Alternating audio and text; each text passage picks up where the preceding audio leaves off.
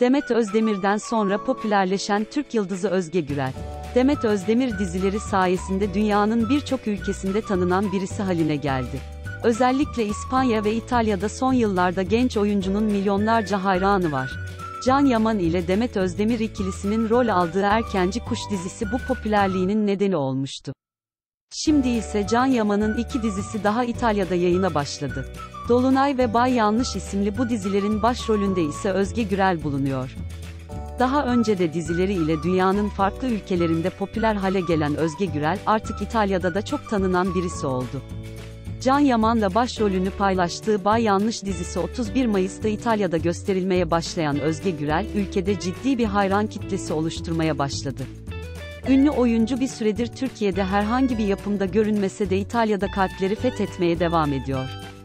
Daha önce Can Yaman'la birlikte Dolunay dizisinde rol alan genç oyuncu, bu dizi sayesinde İtalya'da çok sevilmişti. Gürel, başka dizileriyle de ülkede tanınıyordu. Ancak Bay Yanlış güzel oyuncunun İtalya'daki ününü artırdı.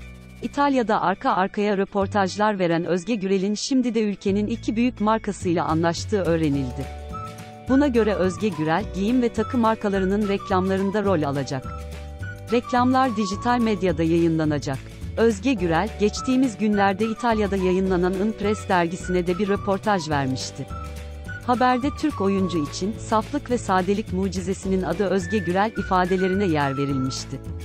Türk oyuncu, Audrey Hepburn ile karşılaştırılarak, zarifliği ve derinliği öyle özel ki Audrey Hepburn ile kıyaslanıyor, denilmişti.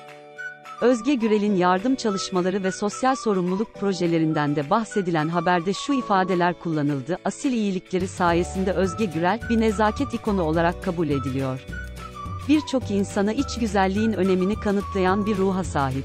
İşi dışında rol yapmayan karakteriyle her zaman sahip olduğu doğallığını korumayı başarıyor. Bu, güçlü projelerde onu hep görmemizi sağlıyor. Özge Gürel, son yıllarda İtalya'da çok popüler olan Demet Özdemir'in izinden gidiyor. Dolunay ve Bay Yanlış dizileri de oyuncunun popülerliğinin artmasına çok katkı sağlıyor.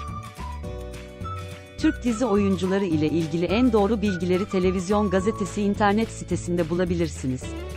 İnternette İngilizce, İspanyolca ve Portekizce versiyonlarımız da vardır.